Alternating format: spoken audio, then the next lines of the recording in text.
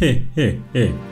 Sui. Schön. Wir bauen heute das Dream Team von Cristiano Ronaldo, der One and Only. Ich habe richtig Bock auf das Team. Wenn euch das Video gefällt, lasst ein Like da. Schreibt mir in die Kommentare, von welchem Spieler soll ich das nächste Dream Team bauen. Abonniert meinen Kanal, um keine Videos mehr zu verpassen. Ihr seid die Besten. Wir äh, stehen echt bald vor den 300.000 Abonnenten dieses Jahr noch. Das wäre einfach zu wild. Und ich würde sagen, wir gehen rein ins Video. 3, 2, 1, let's go. Wir sind in FIFA 22 angekommen und wir werden jetzt, wie gesagt, Ronaldos Dream Team heute bauen. Allerdings, Ronaldo hat noch nie in einem Interview preisgegeben, was sein persönliches Dream Team ist. Deswegen habe ich geschaut, mit wem hat Ronaldo die meisten Spiele bestritten, mit wem ist Ronaldo im Real Life gut befreundet und habe aus diesen Spielern einen Mix zusammengestellt, bei dem ich mir sehr gut vorstellen könnte, dass das Ronaldos Dream Team sein könnte. Und das Team wird auch sehr, sehr geil, das könnt ihr mir glauben. Ich denke, das ist eine ganz coole Geschichte. Ich hoffe, ihr feiert es. Und äh, dann würde ich sagen, starten wir rein. Und dann starten wir natürlich mit dem Torhüter. Und äh, es gibt viele Torhüter, mit denen äh, Ronaldo zusammen gespielt hat. Kayla Navas, Casillas, Van der Sar. Ich habe mich für letzteren entschieden, denn es sind sehr viele Real Madrid oder Ex-Real Madrid Spieler im Team vertreten. Deswegen, wir brauchen hier auf jeden Fall auch einen, mit dem er bei Manchester United zusammengespielt hat. Und äh, Edwin van der Sar, er hat äh, tatsächlich mit dem Kollegen die zweitmeisten Spiele zusammengespielt, wenn es um die Torhüter geht. Deswegen, ich kann mir gut vorstellen, dass Ronaldo auch ein großer Edwin van der Sar Fan ist. Und Digga, wie teuer ist der denn bitte für einen Torhüter? Da ist er. 575.000 Münzen, das ist auf jeden Fall eine Ansage, aber viele schwören auch darauf, dass Edwin van der Sar der beste Torhüter im Spiel ist. Von daher, ich habe auf jeden Fall Bock, den zu testen. 1,97 groß, eine absolute Legende,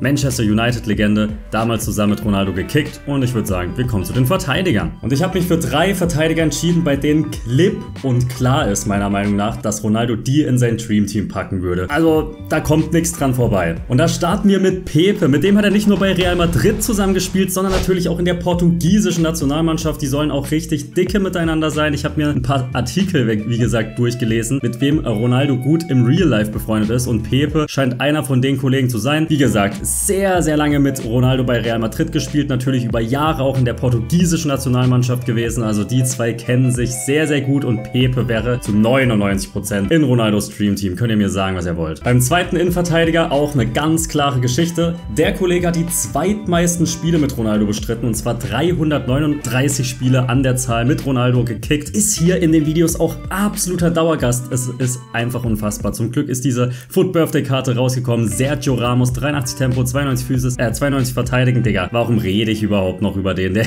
ist momentan no joke in jedem zweiten Video, Alter. Es ist zu krass. Also wenn Sergio Ramos nicht irgendwann mal eine Icon-Karte bekommt, dann äh, heiße ich Nicole Scherzinger. Und damit kommen wir zu unserem dritten Verteidiger und Junge, ich habe vor kurzem so ein geiles TikTok gesehen. Ähm, das habe ich nie mitbekommen. Und zwar geht es um Marcelo. Der ist zu 100% in Ronaldos Dream Team. Würde er ein Dream Team äh, verkündigen. Alter, also die zwei scheinen sich zu lieben. Es gibt einfach, wie gesagt, so ein TikTok, beziehungsweise halt von früher, so ein Zusammenschnitt, äh, wie man sieht, dass Marcelo bei den Elfmetern von Ronaldo immer schon gejubelt hat, bevor Ronaldo geschossen hat. Also die waren wirklich absolut dicke. Nicht nur bei Elfmetern hat er das teilweise gemacht, auch wenn Ronaldo alleine aufs Tor zugegangen ist, hat Marcelo schon die Arme ausgebreitet, weil Marcelo ganz genau weiß, Ronaldo ist einfach der Goat, der macht die Kiste sowieso. Also das ist einfach nur ein richtig geiles Video, habe ich vor kurzem auch in meine Insta-Story gepostet. Falls ihr mir noch nicht auf Insta folgt, dann macht das unbedingt. JudasFGU heiße ich dort, ihr seid die Besten. Aus Chemiegründen spielt Marcelo bei uns linker Außenverteidiger im linken Mittelfeld, damit das Team am Ende auch ordentlich Chemie bekommt. Und damit kommen wir quasi zum Mittelfeld und damit zu einem Kollegen, den kennen wir alle sehr, sehr gut. Und zwar geht es tatsächlich um Mesut Özil in Ronaldos Dream Team, denn die zwei sind auch richtig dicke gewesen zu Real Madrid Zeiten. 2013 wurde Mesut Özil dann von Real Madrid zu Arsenal transferiert und Ronaldo war wirklich stinke sauer, dass das passiert ist. Der konnte das absolut nicht verstehen, dass die Özil verkauft haben und die zwei haben auch wirklich harmoniert. Özil hat Ronaldo mit Vorlagen gefüttert. Bei Arsenal war dann Özil, glaube ich, nochmal deutlich krasser. Also was der da dann abgerissen hat, war natürlich heftig. Von daher, ich kann Ronaldo verstehen, dass er sauer war, dass Özil verkauft wurde bei Real Madrid. Ich denke, der hätte da auch ganz gut noch performt, definitiv. Und ich ich feiere es auf jeden Fall, dass Özil echt so dicke mit Ronaldo war, beziehungsweise vielleicht auch noch ist. Und damit kommen wir zu einer Karte, direkt das Herzstück der Mannschaft. Und mit dem Mann hat Ronaldo nicht zusammengespielt, aber er wurde von ihm trainiert. Und hierbei geht es natürlich um Zinedine Zidane. 2,6 Millionen für seine Icon Moments Karte kommt rein hier. Und ja, was soll man über den schon sagen? Ronaldo und Zidane haben zusammen dreimal die Champions League gewonnen. Dann wurde Ronaldo verkauft, beziehungsweise ist halt gegangen. Und deswegen wurde spekuliert, wurde mal von einem Ex-Real Madrid-Präsidenten gesagt, ist Zidane deswegen auch gegangen. Ronaldo hat auch nach seiner Real Madrid-Zeit noch in etlichen Interviews extrem über sie dann geschwärmt. Also die zwei waren definitiv so zusammen bei Real Madrid und ja, Ronaldo und sie dann einfach ein geiles Duo, muss man sagen. Und ja, sie dann ist auch einfach eine unglaubliche Maschine. Und damit machen wir weiter mit dem rechten ZM. Da kommen wir wieder zu einem Kollegen, der hat mit Ronaldo in der Nationalmannschaft zusammengespielt, aber auch bei Manchester United. Portugiese von Manchester United, ihr wisst jetzt wahrscheinlich alle, wer kommt. Und zwar natürlich Nani. Die zwei bei Manchester United, die waren auch richtig wild, waren zu der Zeit auch sehr gut befreundet, äh, habe ich gelesen. Und äh, ich muss sagen, ich muss bei Nani und Ronaldo immer an dieses eine Tor von Ronaldo denken, als Nani noch kurz vor der Linie dazwischen gesprintet ist und das Ding reingehauen hat. Und dann war es, glaube ich, abseits oder so. Ronaldo war stinke sauer darüber. Deswegen denken jetzt wahrscheinlich viele, die waren absolut mad aufeinander nach der Aktion vielleicht.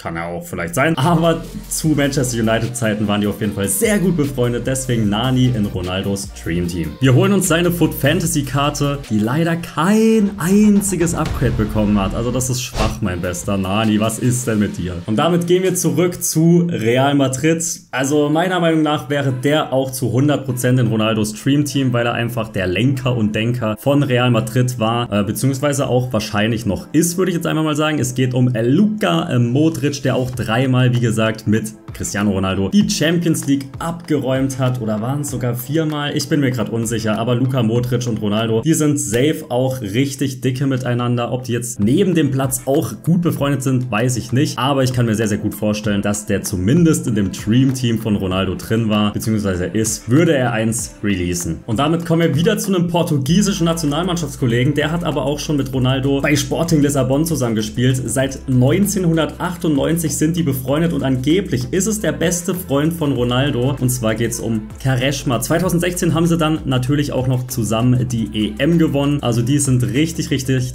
dicke, kennen sich wie gesagt aus ja, Sporting Lissabon Zeiten, bevor beide eigentlich so richtig durch die Decke gegangen sind. Ronaldo natürlich ein bisschen mehr als Kareshma, aber feiere ich auf jeden Fall, dass die anscheinend immer noch so gut befreundet sind. Deswegen, der Mann ist gesetzt in Ronaldos Team. Könnt ihr mir sagen, was ihr wollt. Und damit kommen wir zu den beiden Stürmern und beim linken Stürmer, da bin ich mir eigentlich halt auch zu 100% sicher. Ohne Witz, wäre so cool, würde Ronaldo mal irgendwann noch wirklich sein Dream Team revealen und dann könnten wir das vergleichen mit dem Video. Es würde mich extrem interessieren, aber Karim the Dream Benzema muss in Ronaldos Dream Team, denn Benzema ist der Spieler, der die meisten Spieler überhaupt mit Ronaldo zusammen gespielt hat. 342 Spiele zusammen an der Zahl. Also ja, früher Bale, Ronaldo, Benzema war auf jeden Fall ein wildes Duo, aber ich glaube Ronaldo, der hat sich auch nicht schlecht mit Benzema verstanden und die haben auch wirklich sehr, sehr lange zusammengespielt, denn die sind beide im selben Jahr zu Real Madrid gewechselt. Deswegen Benzema rein ins Team. Da ist er, 1,34 Millionen als ZM, perfekt, dann kann ich hier gleich wieder alles umwandeln. Ist auch echt günstig für die Karte. Forster Skills, 5-Star Weak Foot sieht ultra nice aus. Ich habe den auch noch nicht gezockt, gezockt, deswegen habe ich da richtig Bock drauf. Dann würde ich sagen, wandle ich den noch schnell zum Stürmer um. Und damit kommen wir zum letzten Spieler in Cristiano Ronaldos Dream Team und wir wissen alle, dass Ronaldo ein extrem großes Ego hat. Das kann ich auch als großer Ronaldo-Fan nicht abstreiten. Deswegen ist es eigentlich glasklar, dass Ronaldo sich auch selbst in sein eigenes Dream-Team packen würde. Und Jungs, ich lasse mich heute nicht lumpen. Ich werde nicht meinen First Owner Foot Birthday nehmen, von dem ihr vielleicht wisst, sondern ich kaufe mir den Tots. Let's go. Ach, das ist doch ein Schnapper. 2,8 Millionen für Cristiano Ronaldo, Team of the Season. Und damit steht Ronaldos Dream Team. Was sagt der Jungs? Sieht mega geil aus. Wer könnte noch in Ronaldos Dream Team reinpassen? Ich habe mir so überlegt, vielleicht ein Ferdinand, weil der mit dem er bei Manchester United gespielt hat. Vielleicht ein Rooney, die waren ja auch mal relativ dicke, aber da sind auch so ein paar Sachen vorgefallen, so viel ich weiß. Und Rooney hat mal in einem Interview gesagt, dass Ronaldo extrem nervig war bei Manchester United. Auf jeden Fall ganz lustig. Schreibt mir in die Kommentare, wen hättet ihr noch in Ronaldos Dream Team gepackt? Und dann würde ich sagen, haben wir jetzt noch Spaß mit dem Team in ein, zwei Division Rival Games. Let's go. Wir gehen rein ins erste Spiel. Wildes Team auf jeden Fall. Sieht geil aus. Let's go. Marcelo, Junge. Flanken und dann schon mal jubeln. Ja, okay, heute wohl leider nicht. Kareshma, schöner Ball auf Karim. The Dream, Benzema macht der wunderschön, perfekter Lupfer zum 1-0.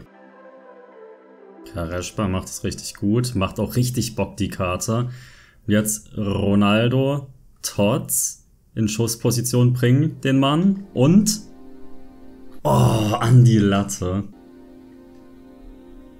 Ja, komm. Da ist Luka Modric und da ist Ram... Ja. Ronaldo mit einem Sombrero fliegt, das wäre krass geworden. Özil auf Ronaldo wie zu Real Madrid Zeiten und Ronaldo finisht wie zu Real Madrid Zeiten. Zeiten. Schü.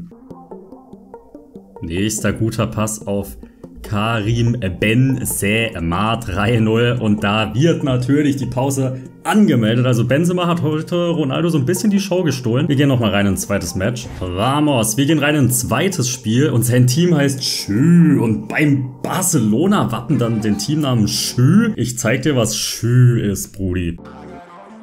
Oh oh. Komm, Junge, Sar, zeig was. Okay. Okay. Starkes Ding. Ronaldo sieht Marcelo in der Mitte. Let's go, Junge. Marcelo und Ronaldo, das Dream-Team schlechthin. Ja. Karim. Oh, wie gut hat er den mitgenommen mit der Ballrolle. Aua, der ist so gut, der 98er Tots Benze. Benzema auf Nani und Nani. Ronaldo 3-1. Endlich Nani klaut nicht Ronaldo das Tor. Özil auf Sisu.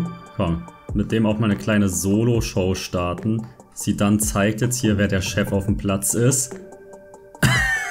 Junge, als ob das jetzt wirklich geklappt hat. Was war das denn? Schü. Ja, so viel dazu. In zwei Spielen hier wirklich die Gegner absolut wegrasiert, hat ultra Bock gemacht mit Ronaldos Stream Team. Also da sind auch echt nur Kracher drin, muss man sagen. Wenn euch das Ganze gefallen hat, lasst ein Like, abonniert meinen Kanal, um keine Videos mehr zu verpassen. Dann sehen wir uns morgen zum nächsten Banger wieder. Macht es dann gut, haut rein und ciao. need